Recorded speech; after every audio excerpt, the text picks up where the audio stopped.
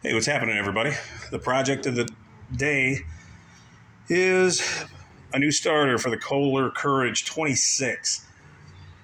This unit is a 2013 Cub Cadet 54 inch deck. Really, the tractor and the deck doesn't even matter. Um, here's the starter. Couldn't be any simpler. Make sure that when you order this thing, uh, well, this particular Kohler Courage 26, I'm sure they're all the same. Uh, it's got a steel flywheel, so you have to have a, a steel spinner on there. Okay.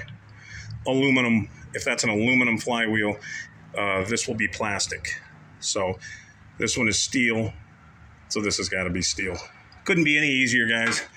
Um, two, four, you got to take six little screws off of this uh, cover. There's two in the back, two on the side two in the front, and literally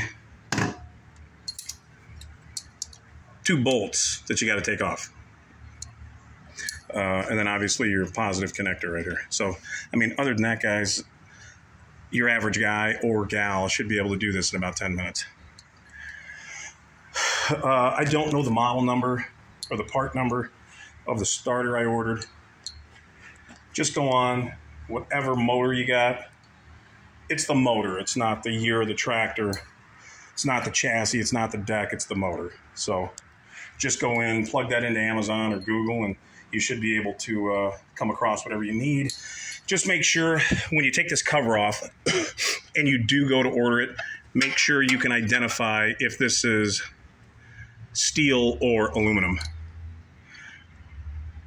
And your starter spinner should tell you. So if that's plastic, make sure you order another plastic one. And that means that's aluminum. So if you run a steel spinner on an aluminum wheel, it's going to tear up your flywheel. So that's really about the only advice I can give you. Um, anyways, that's the project. Talk to y'all later. See ya.